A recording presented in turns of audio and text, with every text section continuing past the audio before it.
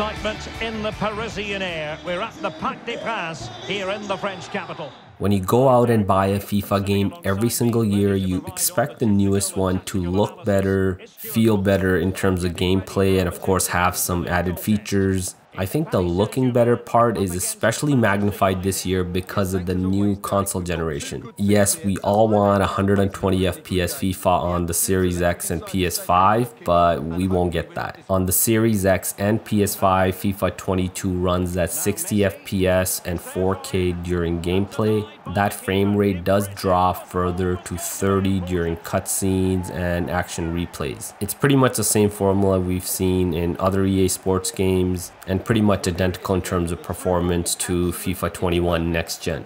In fact, I would say the new FIFA 22 and Next Gen looks worse in some cases than the old FIFA 21 Next Gen. I know there's been a lot of coverage of how bad the game looks on Series S, but it's not just the Series S. Even on the Series X and PS5, the new 22 version looks worse when it comes to player models. This image right here says it all. Both are captured on the Series X. We have FIFA 21 on the left and 22 on the right. If I didn't know any better, I would think 22 was on the left and Xbox One version was on the right. And it's not just Messi, the other big names also look a lot better in FIFA 21 Next Gen. Maybe the lighting got worse because the overall models are not a whole lot different, but whatever it is, FIFA 21 player models are much better looking. Look at Mbappe, the texture of his hair in FIFA 21, it looks a lot, lot more detailed. Okay, so Ronaldo looks similar, but probably because he has no hair on his face, but you zoom in onto that hairline and yeah, you can see how much better the lighting in FIFA 21 is. Now this is of course during replay, so that's one thing, but what about the gameplay on the pitch? Here's a side-by-side -side comparison of Messi scoring on both FIFA 21 and 22 next gen.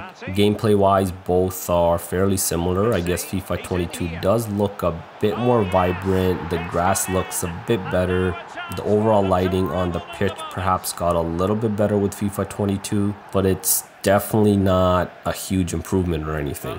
In FIFA 21, one thing I liked after scoring a goal is this action replay shot of the goal scorer walking back to the center of the pitch. They actually completely got rid of that in FIFA 22. One minor detail they did add to FIFA 22 is how the quality of the pitch looks. You can see that these footsteps build up on a grass surface as you progress through the game. Halfway through the game, you'll notice footstep marks all over the pitch when you're playing on natural grass.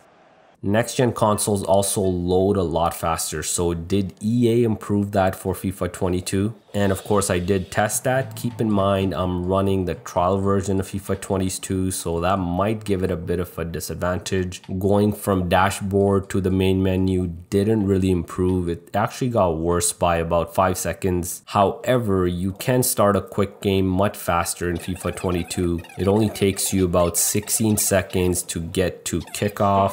The older FIFA 21 takes almost twice as long and that's probably because you can't really skip through all of the cutscenes So there you have it. That's basically how FIFA 22 compares to FIFA 21 next gen when you consider the performance, the graphics, the loading times. In a nutshell, there's absolutely nothing significant in terms of performance improvements. And yeah, this image of Messi says it all. Thinking upgrading to FIFA 22 for the next gen experience, don't do it, keep your money. It's there for him and denied by the keeper. Impressive.